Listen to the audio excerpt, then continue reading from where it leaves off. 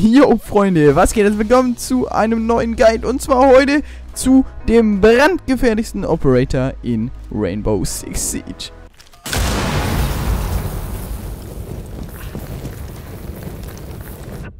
Heute soll es also ein bisschen um Goyo gehen und wie man diesen richtig spielt. Bevor das Video startet, noch ganz kurz, Leute, abonnieren nicht vergessen, auf Instagram followen. Jetzt geht's los. Ja, Leute, Goyo ist ein neuer Operator der Operation Emporize mit 2 Speed und 2 Armorpunkten. Als Primärwaffen hatte er die Vector 45 und die allgemein bekannte Shotgun Sniper TCSG 12. Die Vector 45 spiele ich mit einem Holographics als Visier, einem vertikalen Griff und einem Kompensator und die TCSG mit einem ACOG, einem vertikalen Griff und einem Schalldämpfer. Je nachdem wie ihr spielt, würde ich euch die Vector oder die TCSG empfehlen. Wenn ihr über nähere Distanzen spielen wollt, das heißt zum Beispiel auch beim Roaming und nicht unbedingt Spawn wollt, dann würde ich euch die Vector empfehlen, weil damit könnt ihr den Gegner so richtig schön wegsprayen.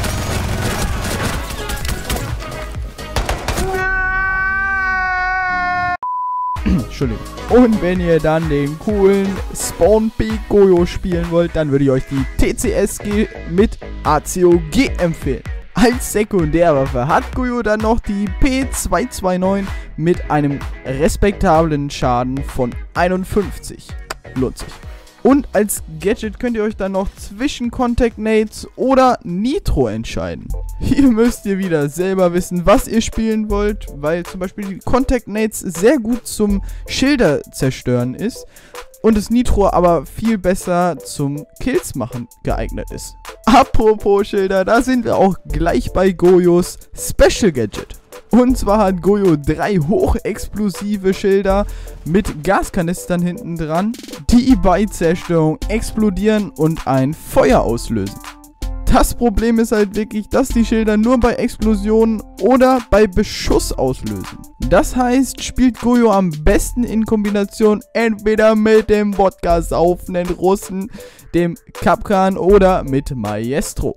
Aber letztendlich kann das Schild durch jeden Operator durch Beschuss ausgelöst werden und somit kann man auch ohne diese Kombination Goyo spielen.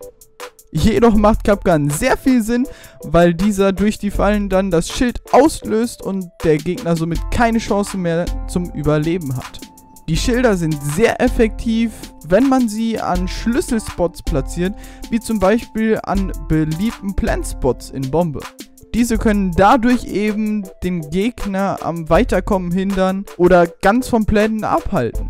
Jedoch muss man auch aufpassen, weil auch die Gegner können die Goyo-Schilder für sich nutzen. Zum Beispiel, wenn sie geplantet haben und die Roamer am Reinkommen hindern wollen, dann können sie einfach die Schilder zerschießen und dann ist da halt Feuer, ne? Man, man, man kennt's, dann ist da halt einfach mal Feuer.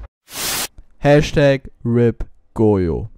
Des Weiteren gibt es natürlich auch Konter für die Goyo-Schilder, wie zum Beispiel die gute Ash, die mit ihren Sprengköpfen die Schilder sehr einfach aus der Distanz entfernen kann. Jedoch ist festzuhalten, dass die Goyo-Schilder eben immer auslösen, egal was sie zerstört. Kommen wir nun zu den Spielweisen, wie ich gerne Goyo spiele. Ich gehe gerne mit Goyo Roam und nehme dann meistens noch ein Schild mit, um zu verhindern, dass ich umlaufen werde. Mit der TCSG gehe ich entweder Spawn pieken oder bleibe on Spot. Wenn der Spot von Schildern angegriffen wird, auch dann ist das Goyo-Schild sehr effektiv. Das Schild macht nämlich 39 Schaden pro Sekunde, egal bei welchem Operator.